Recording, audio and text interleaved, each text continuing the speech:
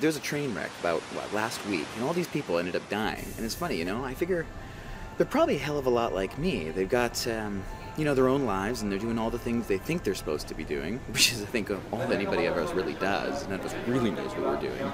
But you know, we go out and we have careers and children and kids and all this kind of stuff. Like it means something. But you know, what what impact was my life going to have 10 years or 50 years or 100 years or 1,000 years after I'm gone? You know, and the fact is, you know, from physics perspective, even if you just take it from a non-philosophical perspective, physicists say that there's a beginning to the universe and there's going to be an end, and everything is slowly decaying and going towards entropy and chaos, and that at some point, everything will simply be dead.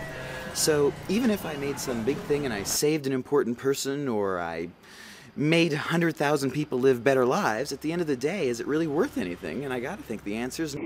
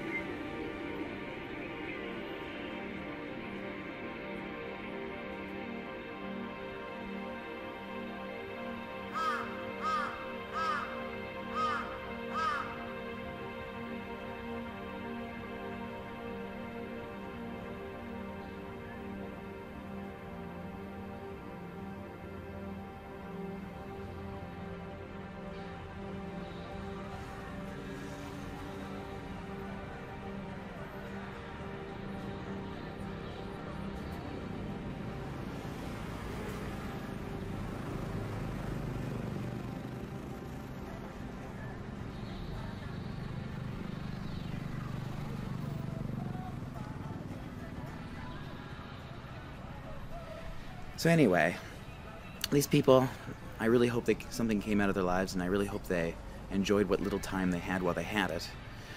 You know, for all I know, I'm going to walk down the street and later today, and I'm going to get hit by a truck, and it'll all be over. And I sure as hell hope that I lived my life in a way that was that I could have been happy with the day I died.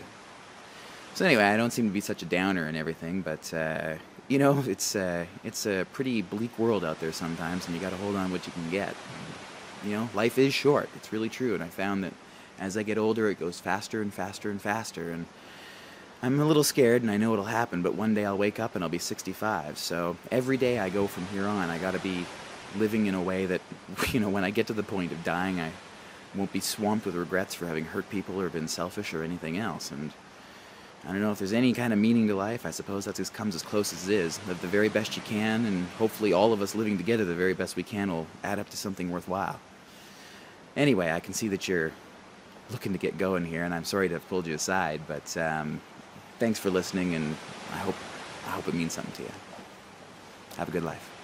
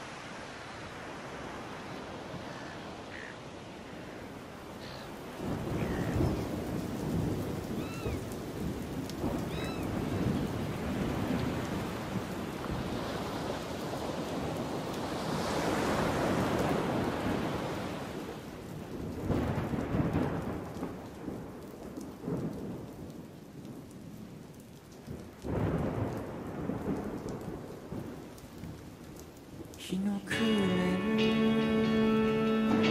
窓から落ちた星掛けを君に預けてまたここでおやすみ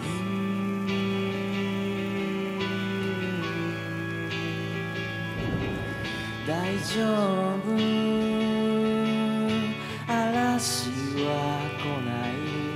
もう君も大人になった。